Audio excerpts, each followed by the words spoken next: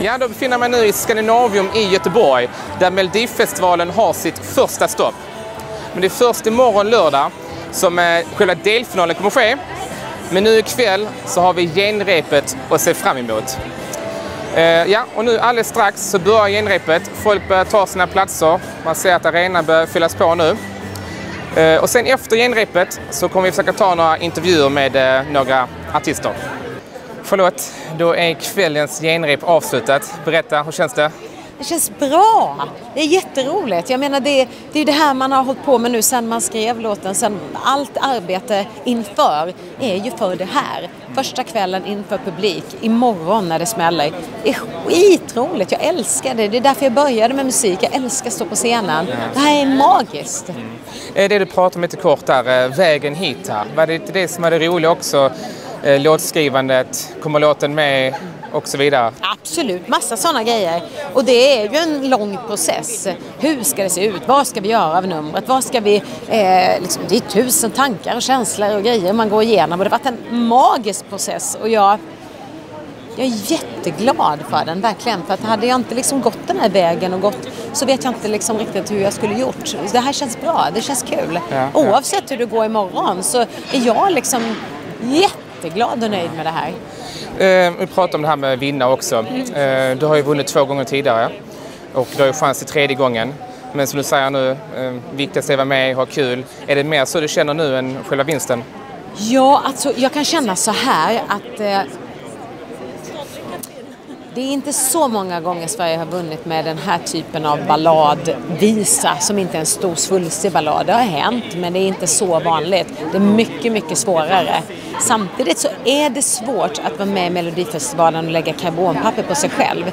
Jag menar, jag har varit med nu flera gånger. Jag har gjort samma liksom, stuk av låt och hoppat in i tävlingen och gjort det igen. Jag är inte säker på att det hade funkat. Jag säger inte att det här funkar för det vet vi ingenting om.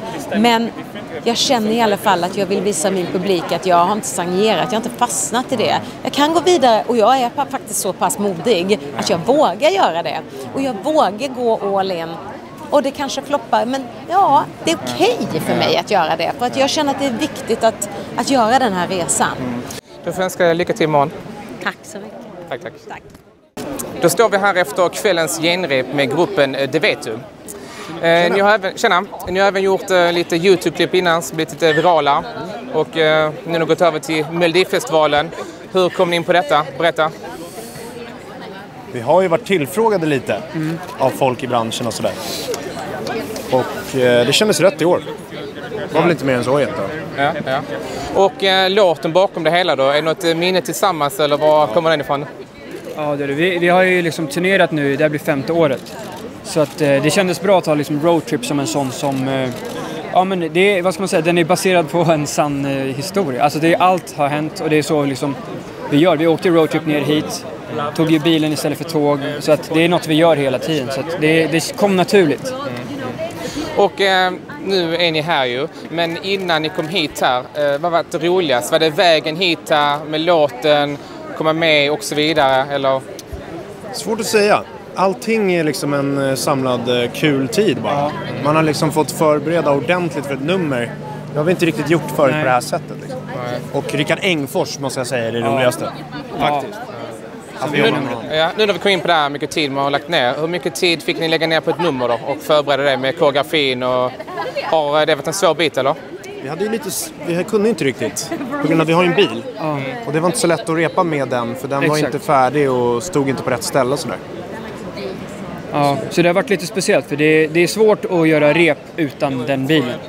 Men vi har varit, eh, vi känner oss trygga med Rickard så vi, vi var lugna med, vi pratade om idéer så länge liksom och, och gjorde sådär. Men så vi har inte kunnat repa så mycket innan eh, bilen kom. Liksom. Om vi nu tittar på eh, kvällens eh, framträdande då. Känner ni er nöjda? Gick alltid som det skulle tyckte ni eller? Ja, vi känner oss nöjda, det var skitkul. Men vi vill ju liksom att det ska vara perfekt, perfekt. Så att det, det, vi gör ju som sagt musikvideos vanligtvis och då vill vi att de, ska, de som tycker om oss ska känna igen det på scen. Och då, då måste allt vara liksom på varje sekund och varje frame och vara, vara helt... Koreografin Ja. ska sitta. Så vi, vill, vi, vi är absolut nöjda, det var skitkul, men vi vill bli ännu bättre. Liksom. Köra ännu mer. Men då får jag önska lycka till imorgon. Tack så mycket. Ja. Ha det bra. Så står vi med Ace Wilder efter kvällens genrep. Hur kändes det? Det känns fantastiskt bra. Ehm, Det är så annorlunda att stå och möta publiken. Man får så mycket energi av dem så det är lite så jobbigt. För man vill ge så mycket när man står där. Ehm, Men det är ju därför man är här. Så att, Jag vet fantastiskt. inte om du, du märkte det, men när eh, programledarna eh, presenterade eller innan de presenterade så sa de så toppa alla affischer ni har i publiken. Och då var det nästan bara ditt namn som kom upp. Eh, Oj. hur känns det? Sjukt bra! Yay! Woop, woop, woop! Så det, så det visar sig att du har många fans här. Ja, ja, tack och jag älskar dem. Det är så fint. Och eh, din show du gjorde där, väldigt fartfylld, mycket dans. Du berättade innan inslaget att du älskar dans ju. Ja. Var du själv som med och koreograferade det? Eh, nej, jag är med och hjälper till. Alltså jag säger så här, så här har jag tänkt mig och sen så jobbar lite och, och utför det. Vad säger man? Utför? Utför? Ja. ja. Och låten och texten då, har varit själv med på den också? Ja, jag skrev den tillsammans med Peter och eh, alltså, Boström och Gesson. Ja. Men då eh, ser jag fram emot imorgon så får jag önska lycka till. Jag får inte tacka så att man jag bockar. Tack så mycket. Tack. Ja, då står vi här med Dina Na efter kvällens genrep. Eh, känns det bra nu? Kan du slappna av lite? Absolut, det känns jättebra. Jag har verkligen längtat efter att få stå framför publiken så att eh, det här har bara varit jätteroligt. Vilket var det roligast nu? Du känner du nu när det äntligen står på scenen eller var det vägen fram hit här? Allting, Innan processen börjar ja, allting. Alltså, allting är ju roligt när man är i Melodifestivalen. Hela processen fram till det, att man kör på lördagen, hur numret utvecklas och från det att man sitter och bara planerar, hur ska numret se ut, vad ska jag på mig och, liksom, och sen få bara se allting växa fram. Det är magiskt. Och du har en liten fartfylld show. Kan du berätta lite om det? Ko- Koreografin bakom det? Ja, jag har en eh, fantastisk koreograf som heter Celia Kap som eh, jag jobbade mycket med 2015 när jag var med. Eh, och eh, jag ville ha girl power, fest, eh, glamour, all in liksom. Det här är mitt Super Bowl. Så hur kände du nu då? Det här är ju eh, dagen innan delfinalen. Kände du att allting fick att stämma på scenen som du ville? ja, vi hade lite problem med pyrotekniken men eh, det löser sig till imorgon.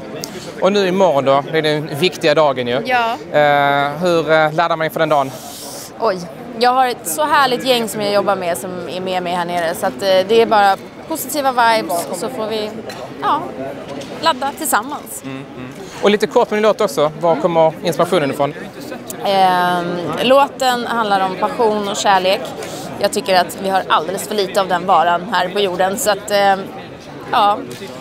Eh, när jag lyssnar själv på låten så får jag lite fjärilar i magen och det är det jag hoppas att lyssnarna också ska få. Spännande. Ja, men då tackar jag så mycket och önskar lycka till. mycket. Tack.